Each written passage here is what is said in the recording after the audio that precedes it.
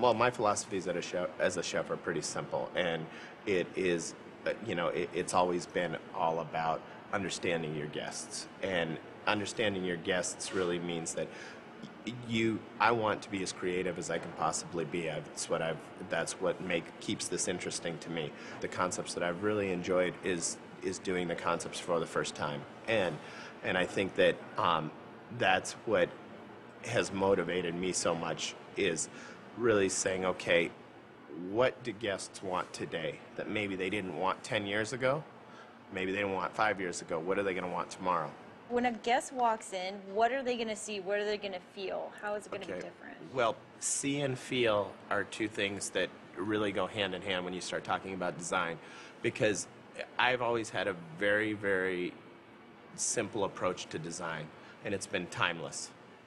Every time that I start with a designer, the first thing I, I want to talk about is how are we going to make this room timeless? I believe in timeless because I think what timeless gives you is it gives you very clean rooms. It gives you clean lines. You'll enter into the front part of the room where it will be wood and it will be a little bit more loungy feeling um, and it'll be exposed to a view outside um, outside of the doors.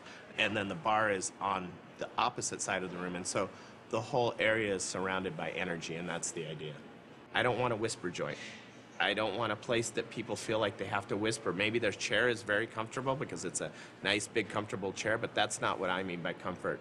I mean that I want people to feel comfortable in my restaurant. I want them to come in and the energy from the bar spills into the restaurant and they work hand in hand to where you start to feel in the chair, you start to feel that, wow, this is great. I'm part of some energy, I'm part of some action. I'm in City Center, I'm in Aria.